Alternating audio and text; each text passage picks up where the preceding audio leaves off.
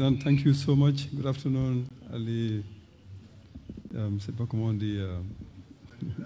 Uh. Uh, Assalamu alaikum. No, my, my, my, my, the paper is titled, this is the subject topic that was proposed to me, Eurocentrism and Domination in the Humanities. I think the, this morning's presentations already touched on this subject in a very important way. We are in the land of the Mande, the Mande Charter, where the Mande Charter was adopted um, in the 13th century within a few decades of the adoption of the uh, Magna Carta. We are in the country where you have cities like Timbuktu. You had mentioned the Timbuktu manuscripts. that are in there hundreds of thousands. And there are other cities where you know, similar uh, you know, treasures can be found. The uh, Sankore University, the Ahmed Baba Library, and a number of other libraries were found in this area. I think what we, is often said is that that vibrant intellectual life did not exist in a vacuum. It was supported by a vibrant economic life as well. That was a very prosperous part of the continent at the time. Just to illustrate, it should be remembered that it is from this same country uh, of the Mali Empire then, where Mansa Musa left, the same century, 13th century, and went on a pilgrimage to Mecca, and took so much gold along with him that when he got to Cairo, the gold market collapsed for 12 years. You know, and in fact, out of his generosity, when he was coming back, going through Cairo again, they bought back some of the gold that they left just to help the market. And, and it means there was a whole political economy that existed then. Now, this is important when uh, we are talking about Eurocentrism and how, uh, you know, a whole uh, scenario is presented, the history of the world is represented, you know, as if everything started from Europe and Europe is where actually history is made. Now, in a chapter on Eurocentrism and Orientalism published in the Encyclopedia of Postcolonial Studies in 2016, Ilya Zipolia defines Eurocentrism as the discourse that places emphasis on European concerns, culture, and values at the expense of those of other cultures. It uses Europe as a cultural rather than a cartographical expression, which incorporates the so-called West. In other words, Western Europe and North America.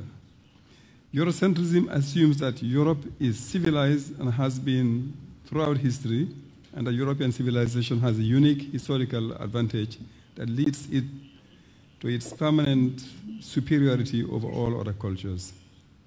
And the thing is, one finds Eurocentric assumptions uh, consciously or subconsciously in the writings of a lot of people by advocates, outright defendants of uh, you know, imperialist positions, as one finds them in so-called radical scholarship, actually, radical scholarship unintentionally uses some of the Eurocentric conceptions in its, in its own uh, propositions. Now, Eurocentrism is one of the issues, of course, that decolonial scholars, and there are a number of them here in this room, um, J. Bellinger's edited a book on this, and a lot of people are, familiar with the literature. Uh, you know, but also, you know, about the, the you know, Aníbal Quijano, Walter Mignolo, Ramón Grosfoguel, Sabelo Ndlovu-Gatsheni, um, Santos, and there are a number of them. This is an, an issue that they've discussed extensively. Um, we are, of course, in our own uh, context, familiar with Mudimbe's critique of the colonial library. But the major groundbreaking work on Eurocentrism that really drew attention to the importance of the phenomenon uh, and the concept and, and to Eurocentrism as a discourse and as an ideology is Samir Amin's book on Eurocentrism that was first published in French in 1988 uh, by Éditions Anthropos. In the short time I have, I think I want to just go through five issues very quickly. Uh, the first, I run through them and then take them one by one. The first one is, of course, the issue of time, history, and the so-called end of history as one of the tropes of Eurocentrism. The second issue is geography and space and uh, civilization and the making of orders, right? How the whole world is sort of constructed as an, as an order of the, of the Europeans. And the third issue of is Eurocentrism in higher education and knowledge production. and how those um, divides find themselves in there and the epistemicide that went with that whole process. The fourth question, or the fourth issue I want to discuss very briefly is that of Eurocentrism and coloniality in music and dance and bodies and so on, but I will not go far into that one because Shai is here. She's the expert on those issues. She'll discuss it extensively. But I have just a few things I want to raise in that regard. And of course, the fifth point is the whole point about modernity, European modernity, and Eurocentrism in economic thinking and in development thinking more specifically, uh, but also in, in political discourse and in politics. So, uh, time and history, uh, and the so-called end of history. Now, I'll come back to the point about the end of history towards the end of my presentation. The starting point, of course, is that Europe is taken to be the center of the world as the source of history uh, and the point of reference. Taking Europe as the main point from which even time is measured, you know, we know uh, about Greenwich Mean Time, right? Uh, these days, one can hear about European Standard Time or Eastern Standard Time, US and the Pacific Standard Time, but for a long time, what could, one could hear was Greenwich Mean Time, which is Greenwich is, is, part of London or close to London, and that is the point from which time is measured going forward or backward. So you is Greenwich plus uh, 1, 2, 3, up to 12, or minus, right? And Greenwich is taken to be universal time. Now, this is really taking Greenwich to be the center of the world. And it's UK, it corresponded to a time when the UK was the center. Uh, the second thing is, of course, if you uh, um, go from that point about time, you look at the Gregorian calendar itself. You know, the whole history of the world is measured in terms of years from the birth of Christ, right? So it's before or after the birth of Christ. You go again forward or you go backward. And the periodization of history is done along those lines, right? Uh, and uh, uh, we speak of, if you're not talking about BC or AC, of ancient times, early modern times, the Middle Ages, or the contemporary era. It's all in reference to that particular point of time. And these things, we take them up in our own you know, scholarship inadvertently most of the time, without even being aware. Now, the third point is, again, in relation to Europe and time, is our own experience of colonialism. Since they came around here, our history is measured in terms of before and after they came or when they were here. It's pre-colonial, post-colonial, you know. Uh, and and, and that, that is something we've learned to live with. Now, Mamadou Fall, and for those who have been involved in the general, rewriting of general history of Senegal, there was a, an extensive debate on that periodization as something to break with, which people said consciously, look, we are not going to periodize Senegalese history in, in terms of pre-colonial, colonial, or post-colonial, or independent. It had to be taken in a different way. And if you look at the volumes, they actually dated differently. An attempt to break with that particular uh, tradition of measuring in relation to European experience. And now, the Eurocentric construction uh, of time is therefore something that is both in the ordinary sense of the word, but also in terms of the, the whole history. Now, I'll come back to the point about the end of history because in relation to time and taking Europe as a center, uh, for everything, and it is also about what unfolded later on in terms of democracy, in terms of you know the economic processes, the kind of systems you had, and they've all done it, and there is nothing new one can invent anywhere. So yeah, that's why that guy called Fukuyama had the you know the courage to at one point write a book and say we've got the, to the end of history because there is nothing new to invent. we've done it already. I'll come back to that point in a, in a minute. The second issue I want to spend a few minutes on is the whole issue of space and geography. Again, it is a question of actually taking Europe as a center, and then the rest of the world is actually sort of conceptualized, constructed, you know, in relation to that European center. Uh, you know, the, the colonial library, we, I've just mentioned Mudimbe's work on it, the Orientalism um, and the construction of the Orient, that's, that's, that's Edward Said, or the invention of the Americas, that's Enrique Dussel's work right, on the Americas. So these three authors actually are very key in this discussion. Dussel wrote first in 1976, I think his first book was published, The Invention of the Americas, but borrowing the title from a much earlier work that was published in the 60s. Uh, and then Mudimbe's, uh, Edward Said's book on Orientalism, and then Mudimbe's book on the invention of Africa. But all these are discussing constructions of the rest of the world from a European perspective and a Euro European, Eurocentric perspective. Um, but the European, European constructions of space and time could also be seen in terms of the ways in which the, the whole world is measured in terms of Europe. You talk the, about the, when they talk about the Near East, the Middle East, or the Far East, it's again in relation to Europe, right? The center and the periphery happens to be, with Samir Amin's work, discussed in terms of, uh, uh, you know, the, capital, the center of capitalism, which happened also coincidentally to be the Europe where the Industrial Revolution took place. Uh, and the periphery is everything that was around it. Um, but, with, but there's a sort of a, an overlap and a coincidence between that center for historical and socio-political process and economic process with the geographical center that Europe is supposed to have been. The boldest thing is when they begin saying the discovery of this part of the world or that pole, discovery of America, discovery of the Zambezi, for example. People come in and with populations have been there who carry them on their backs and then they claim that we are the ones who discovered.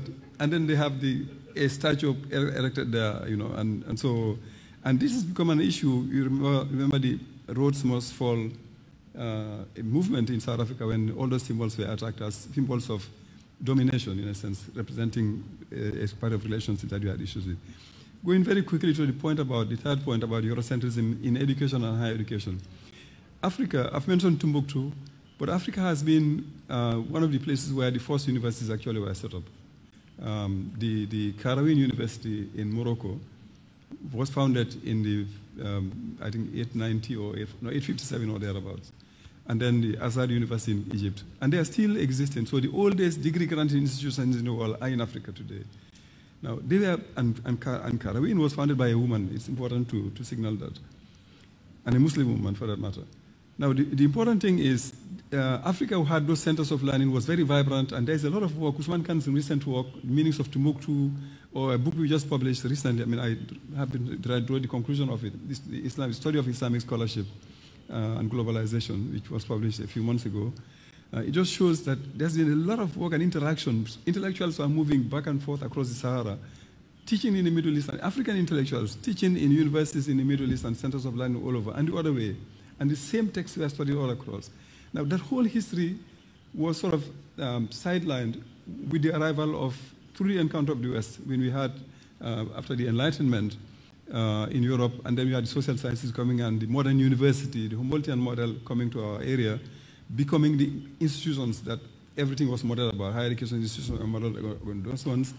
The, the scientists were the ones that came through the European encounter. And indigenous knowledges, local knowledges, uh, non-Europhone knowledges and intellectuals were all seem to be, um, you know, sort of uh, non-scientific. Uh, indigenous knowledges were seen to be superstitions and so on. CODESRIA, we should be reminded, actually had an interest in this issue a long time ago with, when Hountondji wrote, led a multinational working group on indigenous knowledges. You know, and they came up with a lot of knowledge about, you know, rainmaking, about how um, traditional medicines were, were done. And then uh, I think with, with bio in the early, around 2004 or 5, there was also an attempt to look at HIV AIDS in Africa and how indigenous knowledge are mobilized in response to HIV AIDS. So, so there's, there's a whole body of knowledge that was sidelined, you know, and that is part of the way in which European-centered notions and perceptions and paradigms came to displace what we had, and that is valuable. And I think those are things that we need to reconnect with, we've, we've been told in this morning. So the, the, when it comes to languages, I, I there, it was very emphasized this morning. I mean, Amina Traore's point was very important. Even in politics, the language you speak is important. Uh, what you say may not be the same thing if you speak in a language and not and the other, and how you say it is certainly different. But we know that uh, certainly I personally, and I know a lot of people, when we were going to school, if you made the mistake of speaking your own mother tongue, you had the symbol. You know, so it was a humiliating experience in which, you know, and the symbol was a ridiculous, uh, a, a, necklace made up of the most ridiculous of things that there were, you know, horns and empty cans and so on, that you had to carry until you hear somebody else speaking vernacular, as it was called, not a language. Your languages were vernacular or, or patois or whatever they call it. So there's a way in which our languages were subjected, so almost like a linguicide. You know, that's what the colonial scholars call it. And I think that's something we need to, to, to look at very, very carefully. The fourth point is the Eurocentrism in, in, and coloniality in music, dance, and bodies. I just want to refer to one example we did. In 2002, two, two examples. In 2000, uh, 13, I think, we organized a conference in Dakar on, and we started African Code, uh, Afri I mean, Africa in the World, the, the debate in the colonial library. And these issues were discussed extensively, how actually even the, the shaping of music was redone through the colonial, like how, how European models and measurements influence music. I mean, the kind of music that you find Fela, Fela Kuti doing, you know, songs that are 15 minutes long. You don't do that anymore. You have songs that last for two minutes or for two and a half minutes or three minutes, you know. And then the whole industry is controlled from a particular center that sets the norms and what can go for good music, what can go for, for, for what is not acceptable for music. Bodies, that is known to everybody. The saddest thing one sees is when you walk around Bamako or Dakar or anywhere and you see, you know, the skins of people bleached, you know, and uh, becoming you know, discolored. In Central Africa, even men do it, and it's, it's ex extremely damaging.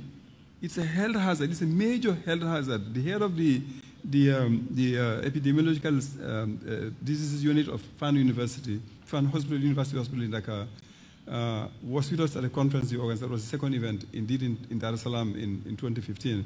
And he was explaining that the largest number of cases they had in that unit were people suffering from skin bleaching. Now, it is a, it's, a, it's a terrible thing. Why? Because they want to be white. They want to be, because they're still assimilating the color of the person, the skin, to beauty and to norms of beauty that are defined along certain particular lines, you know. And, and that is extremely important. And what we should know is that it's a huge industry. The cosmetic industry, in terms of the money involved, is actually comparable to the drug industry. You know, it is a huge amount of money involved and people are suffering from that. But beyond the issue of bodies in, along those lines, I think it's whole issue of rights that is redefined. You know, the debate about human rights and to what extent they are universal or they are influenced by European notions of rights and so on, to what one sees now, even discussions about LGBTQI and so on. It's like the, the norms are, you know, shifting and um, freedom is measured along a particular, you know, uh, lines of measurement. Uh, you have to be able to have you know, gay marriage legalized in your constitutions and, or in your laws. And so these are taken to be measures of freedom today, regardless of what your culture says about it, regardless of what your own history says about it, or what your values say about it. You know, I'm not making a statement about the right or wrong of the thing. I'm just making a statement of the extent to which European notions and practices and norms dominate, because that's what this theme is about and what the paper is discussing. So I'll go to the final point of my presentation, and that is uh, Eurocentrism and uh, uh, European modernity and how uh, one sees them playing out in thinking, economic thinking, and specifically on development thinking. Now, um, the Europe sanitized its history and its development process, you know, and uh, we know that it, they simplified the history and they sanitized it as something that is neat and clean and unilinear, uh, but with the works of Mignolo, who has written a book on the dark side of the European Renaissance and wrote, and wrote a, a, book on the dark side of European modernity. Uh, and what we know about colonialism and the transatlantic slave trade, all those things were happening when the Enlightenment was happening, and you know, uh, and so uh, now the, taking European modernity to be the modernity, uh, it has a lot of value in it. European Enlightenment was a huge progress compared to what, had, what one had until then. But what, what Eurocentrism has done is to take them as the endpoints, the arrival points. That there is nothing more to, to aspire to above, above that. And the only thing you can do is, is to, to try to reach that level, you know, at, at best, right? Uh, but our own modernity doesn't matter anymore. And know how modernity is defined. Ali El Kenz discusses this in his book, uh, The Challenge of Modernity. That's the definition of it as just the way in which every society responds to the challenges of its time.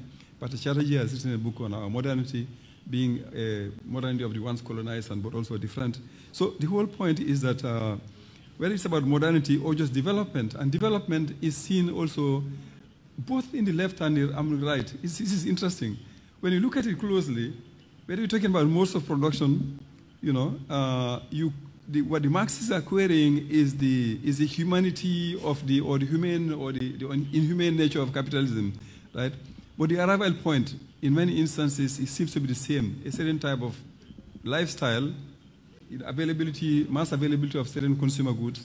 You know, and the, and the Indians have written about this. There's a, there's a book called uh, Dreams That Never Expire that have no expiry date that just show that a certain particular type of lifestyle that is you know, prevailing in the US and elsewhere is taken to be what everybody should be aspiring to, and development should get you there somehow. So the discussion is about the routes if you get to go there, whether you're on the, from the right or the left, you know, the, the, the degree of suffering that is involved in getting there, you know. But it's all about getting there somehow and, and the speed at which you get there. And our own Thandika, um, personally, my mentor, my friend, my brother, and so on, executive secretary of CODESRIA, wrote this paper, his inaugural lecture at LSE, on uh, titled Running Where Others Walked or While Others Walked, you know, borrowing the expression from Nyerere. But it's all about the pace at which you get there. It's all about, you know, the process. But at the end of the day, it's not questioning that whole trajectory. You know, I think some of the people like Ki-Zerbo have questioned it, that development say clear and TET is not something clear and made that you can borrow, you can follow, you can buy on the market. Or Felwine Sarr's own bold thing to say, look, uh, Afrotopia, we have nothing to catch up with except our realizing our own potentials, right? Learning to explore our potentials and then chart our own path and getting there somehow. So there is a way in which I think uh, that development process is integrated. I want to stop here because I know that my time, I'm spending more than the time I was supposed to be spending on this presentation. Just to ask the question, I think there are two questions that I'm concluding on those ones. I think there are two questions we should ask ourselves. The first question is, uh, what are the ways in which Eurocentrism is manifesting itself today, the subtle ways and the brutal ways in which it is manifesting itself. Because it hasn't stopped. it reproduces itself too, it becomes more subtle and it deepens. The second thing is, the second question is, what is reproducing Eurocentrism today? What are the mechanisms of reproduction? How is it perpetuating itself? And I would argue that one of the mechanisms, you know, it's not only the institutional mechanisms of the university, you have the rankings or the award systems whether you're talking about Nollywood or Hollywood. No, no, Nollywood. Nollywood is an alternative one. But if you have the, the, the if you want to be recognized by Hollywood or the Cannes Festival or, you know, have a book award, you know, you have to have your material produced in a particular, along particular formats. Okay? Um, the, but the, the, the, the, you know, the, the, the important thing is there's also the issue of funding. You know, the funding is one mechanism through which uh, you know, the Eurocentric tropes are, are, reproduced and then perpetuated. Sad, sad fact is we don't, we don't fund art and culture. We don't fund research. We don't fund intellectual productions. We don't, we don't. So we can talk about humanities until tomorrow, you know, so long as we don't mobilize African resources to support, you know, those things and realize our ideas. I think we'll be spending a lot of time and not making much progress. Let me stop here because I think I have spent too much time.